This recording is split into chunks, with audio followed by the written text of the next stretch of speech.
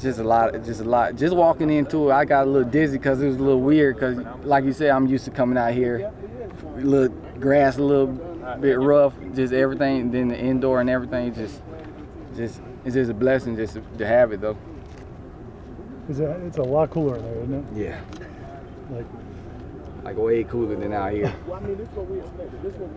Was it just exciting to get in there and you know warm up and actually finally see it up and be in pa- not pads but you know, Yeah, most definitely because we get honestly as a team we get tired of warming up out here. You see how hot it was, about 98 degrees out here, but it was good just, just to get that Just, just to know that we ain't gonna have no cancel practices this year. did you ever sneak in there at all, or like? when- when Nah, not at, not at all. So this is my first time going in there. How was just in general today? I mean, first practice getting back out here? It was actually better than I expected. I mean, we had guys, younger guys, older guys, everybody, everybody just moving, no complaining.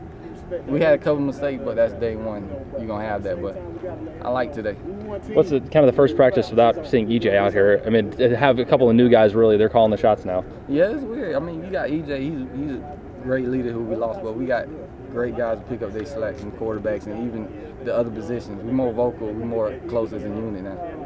Talk about some of the just the young talent you brought in. I mean, some there are a lot of new guys. Really, I mean, from what we could tell, I mean, really flying around pretty good today. Yeah, they all like like Coach said in the huddle up there. They all they just jumped in. That that's something that's that's you see that's rare in the freshmen. But everybody jumped in on defense, offense side as a young guy. They just jumped in, kind of knew what they was doing, but just wanted to be in there.